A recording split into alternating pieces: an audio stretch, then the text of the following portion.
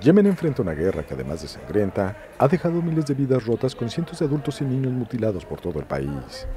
Los constantes bombardeos han dejado innumerables muertos, pero igual de desgarrador es el hecho de sobrevivir a los ataques en la orfandad y sin alguna extremidad. Este es el caso de Amar Jafran, un niño yemení de 8 años, quien sobrevivió hace 10 meses a un bombardeo que acabó con buena parte de su familia y que además le dejó sin una pierna. Amar es solo uno de los miles de niños que cargan con las heridas profundas y difíciles de cicatrizar de una guerra que dura ya cinco años y parece no tener fin.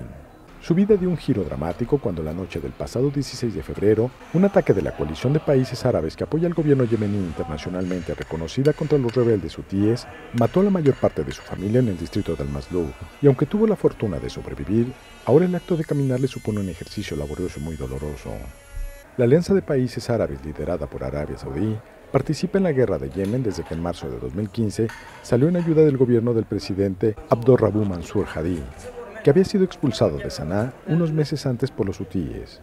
Desde entonces, han muerto en Yemen alrededor de 230.000 personas por la guerra y otras causas relacionadas con ella, mientras que decenas de miles han resultado heridas, según los últimos cálculos de la ONU.